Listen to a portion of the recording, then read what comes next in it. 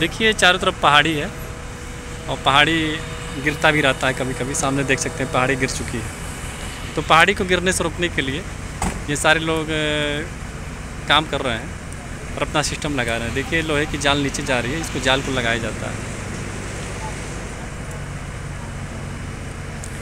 सफ़ेद हेलमेट में एक सुपरवाइज़र खड़े हैं। जिनके निर्देश में ये सारी लेबर लगी है। काम कर रही है।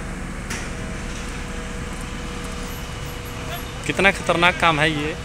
आप इसको देख सकते हैं, विचार कर सकते हैं।